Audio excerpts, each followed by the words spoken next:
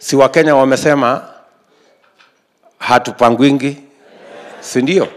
Wakenya wako tayari, wamejipanga na inaeleweka Kenya mzima ya kwamba there is no Kenyans cannot buy into a political project. Kenyans want to choose their leaders.